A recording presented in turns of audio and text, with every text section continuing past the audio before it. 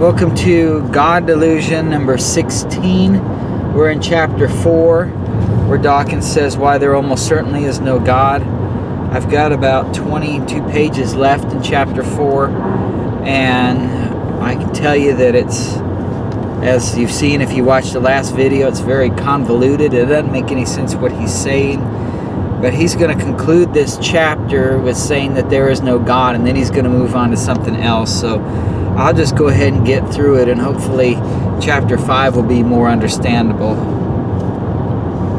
Okay, uh, he says, quote, this is on page 159. Here is the message that an imaginary intelligent design theorist might broadcast to scientists. If you don't understand how something works, never mind, just give up and say God did it, end quote. What he's doing is he's saying that people who believe in a God are not, it's just something that they make up. It's void of reasoning. And as we've said before, um, we that's not how it works. We know in our mind that we are sinners. Everybody has a conscience. I realize everybody's conscience is different, but everybody knows there's a right and wrong, and everybody fails at obeying the conscience perfectly. And so, because of that, we know that we have failed to meet the standard that God has put within us. And because of that, then uh, if that is to set aside our pride in our own, us being God or us being good, and for us to look to the solution. And so the solution is found in the only book that God ever wrote, the Bible, and that solution is trusting in Jesus' death, burial, and resurrection as atonement for your sins. All of that is a rational thinking process. It's not us saying, well, we don't know what worked and we're too lazy to think up a rational answer, so I guess God did it and that's it. That's not the case. We are rationalizing, we are thinking through what we know and coming to God existing as a logical conclusion. What Darwin is doing, not Darwin, I keep calling him Darwin because he's close to Dawkins. What Dawkins is doing is he is ignoring that. He's ignoring reasoning, rational thinking, and he's saying, "Well, I, yeah, um, I, am a good person. I'm okay. So let's not talk about me. Uh, let's just show that God doesn't exist. Because then, if I could show God doesn't exist, then I don't have to deal with the problem of me being a sinner. That's the bottom line. So, um, his statement about intelligent design theorist is false." He says um, he's talking about this professor Behe b-e-h-e and um, he's questioning that evolution could ever find an explanation for the immune system how the immune system exists which is very good because how could the immune system exist unless it was designed? Very good questioning and so, but he says that less forgiving is that Behe dismissed such research as unfruitful.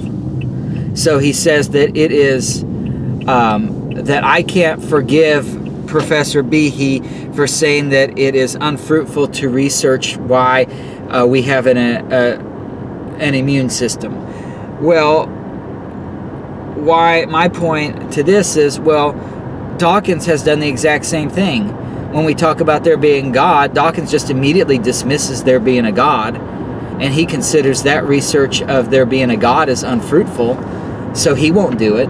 So why can he? He can't turn around and say Professor Behe is unwarranted in saying that uh, research to find an evolutionary explanation for an immune system is unfruitful.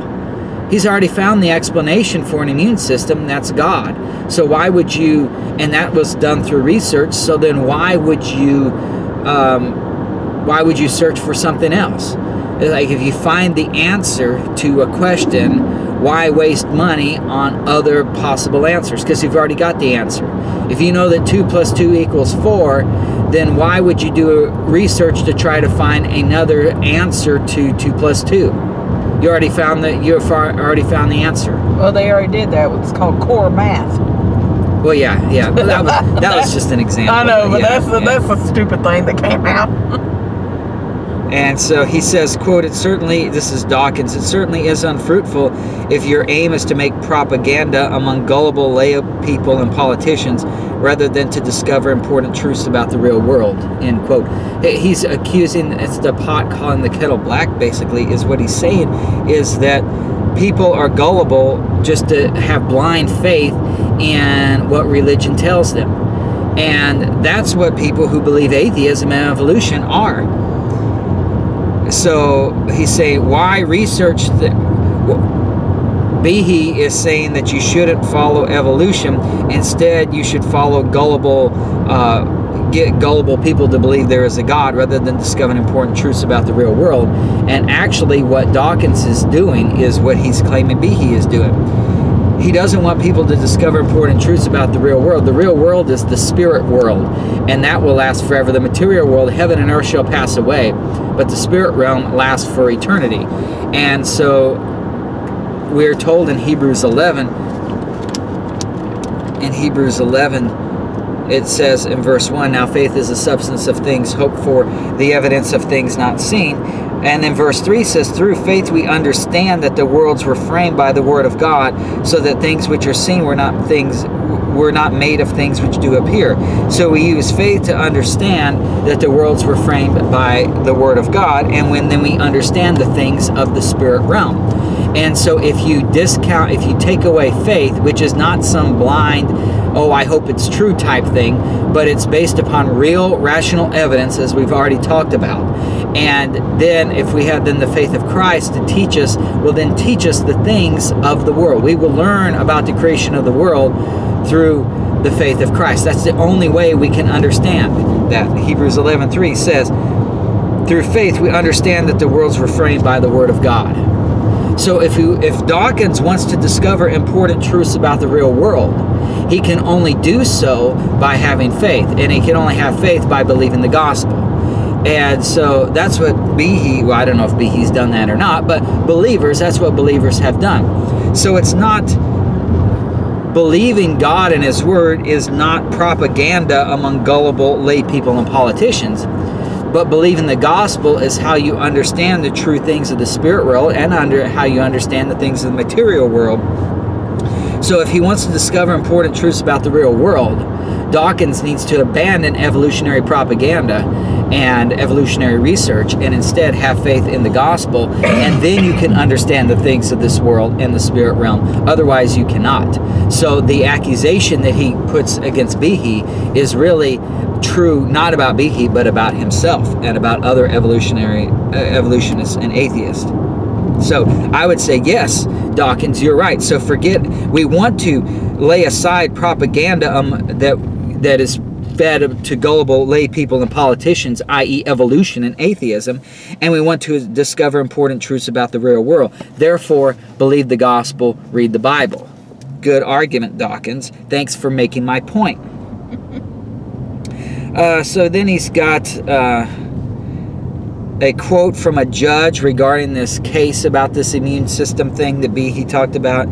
And one of the part of this quote is their efforts help us combat and cure serious medical conditions, end quotes. In other words, the judge is saying, well, Behe, you're wrong because we need to do research into immune system uh, and how they evolved and everything is fruitful. Because if we understand how they evolved, then maybe uh, their research, even if we can't understand how they evolve, at least the research into uh, immune systems and how they work will help us combat and cure serious medical conditions. And I would say, okay, yeah, that's true. But he's missing the bigger point. And the bigger point is that everyone still dies.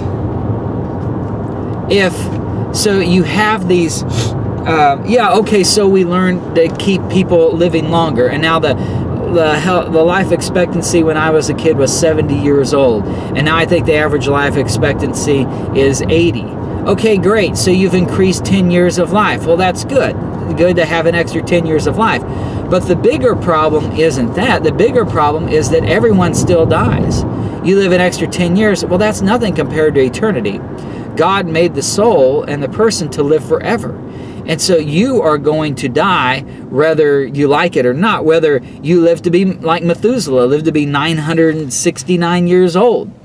He Methuselah still died. So he lived almost 900 years longer than any other person in the world today lives. And yet he still died and still went to hell, probably. That's what it seems like.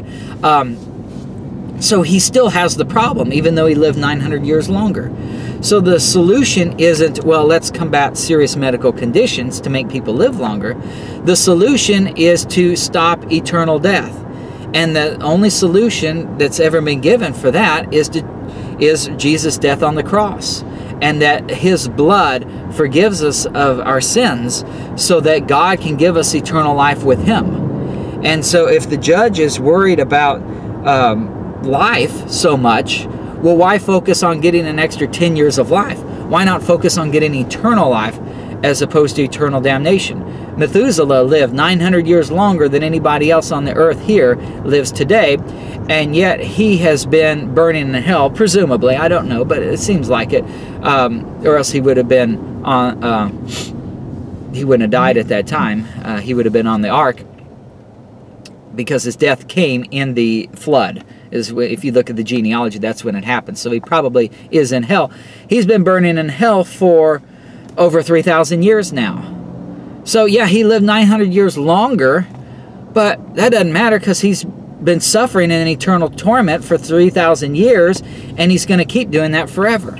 So why don't we get to the bigger problem? Forget about, I understand it's, I mean, it's good I guess it can be good to have immune research and to discover things, but um, the bigger problem is dealing with sin. So why don't we deal with that problem instead of worrying about living longer? And also, when it talks about the immune system, just look at the advances in science, what this focus has done. We've taken all the money or the focus, I should, shouldn't say money, but we've taken all the focus off of God and His Word, and we've put an entire focus on material existence. So that billions of dollars are spent annually to come up with drugs to help with problems that the human body has. And even if those drugs and all the billions of dollars and millions of hours of research that have been done over the years and all these drugs, uh, the result is at best we find drugs that diminish problems or even take care of problems, but there are all these side effects. Look at these commercials for these drugs. Everyone has all these side effects, may cause diarrhea, fever, nausea, vomiting, um, redness, rashes, pain here, pain there, bleeding. Um, a lot of t- yeah, a lot of times the side effects are Heart worse. Heart attack, yeah, the, the uh, and some they'll even say and may cause premature death. A lot of times the side effects are worse than the problem. Give you an example. When I was in my early 20s, my hands would get cold all the time. Uh, and so I thought, well, maybe I have carpal tunnel because I type a lot, being an accountant. So I, you know, found out. Well, they did tests and said you had Raynaud's disease. I said, well, what's Raynaud's disease? Basically, it means that your hands in a cold environment get cold easily, and in a hot environment, they get hot easily. I said, well, what can be done about that? He says, well, we could give you a nitroglycerin paste that you could rub on your hands. And so then your hands probably wouldn't be cold. But the side effects of nitroglycerin is much greater than just simply having cold hands. Cold hands isn't going to kill me. It's not going to cause a disease. It's just my hands are going to be cold. So what you do is you blow on your hands, you sit on your hands, you put gloves on, uh, or you get to a warmer environment if possible. So, um, and I don't have any trouble with that being in South Alabama in the summer right now. Uh, no problem, you know. Um, the point is, the side effects of the solution is far worse than the problem. So, right there, that also to me shows that God exists, that God created us, that man and all his wisdom and all the millions of uh, hours of research and billions of dollars that have been spent to come up with cures uh, can't find cures for the common cold, can't find cures for any virus, can't find cures for cancer, can't find these cures in all his knowledge. So, if that's what man does with all his research, um, yeah, he prolongs life 10 years. Well, that's all he can do. So, what do you think the result of his research is going to be in trying to find who created the world? Uh, if you've ignored God, it's going to be bupkis. It's going to be nothing. So, um, it's a waste of time. Okay, uh,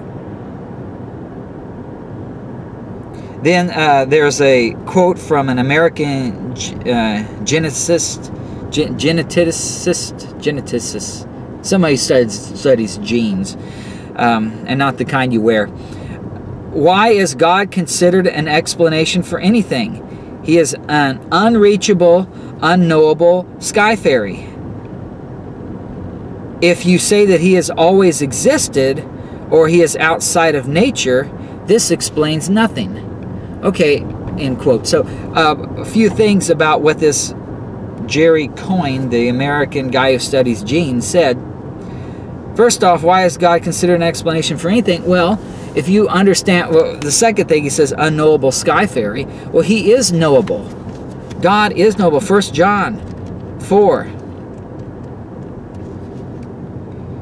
Verse 7 Beloved, let us love one another, for love is of God, and everyone that loveth is born of God and knoweth God. He that loveth not knoweth not God, for God is love. 1 John 4 7 says that if we love, we know God. Well, the only way we love, 1 John 4 10, herein is love, not that we love God, but that He loved us. So God loves us by sending His Son to die for our sins. When we accept that love, we receive His love. Now we can know God, for God is love. So this unknowable sky fairy, that's incorrect. God is love. We can know God when we accept His love, so we can know Him. And if we know God, then that opens us up to the eternal spiritual realm. And that's what's so great about reading the Bible and why I've spent thousands of hours reading the Bible and will continue to do so.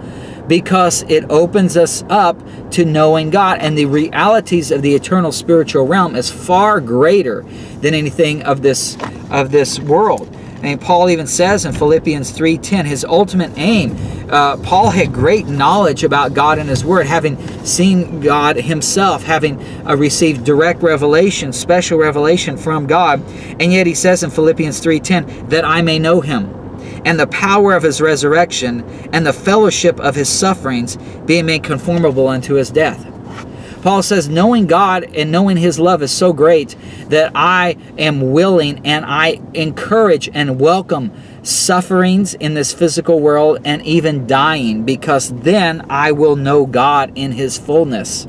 And so, he, since He welcomes those things, um, what knowing God and understanding the gospel and everything opens us up to this great spiritual realm that is far beyond the material realm to the point that we're willing to die to receive that knowledge.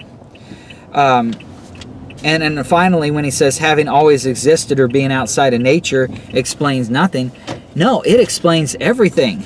Because if there is a God who is above us and outside of nature and is in a different realm, it explains how he could create such a complex universe. And so rather than explaining nothing, it explains everything. And then it taps us into this eternal spiritual realm that we couldn't possibly know anything about without knowing God, without uh, experiencing His love. And so all the these evolutionists and atheists are doing is they're going down the path of greater ignorance. When if they were just believe the gospel, then they could experience true science. That's why first Timothy 6:20 says warns Timothy against oppositions of science falsely so called. The science of this world is not real knowledge. It's temporary, temporal. It's of the material realm.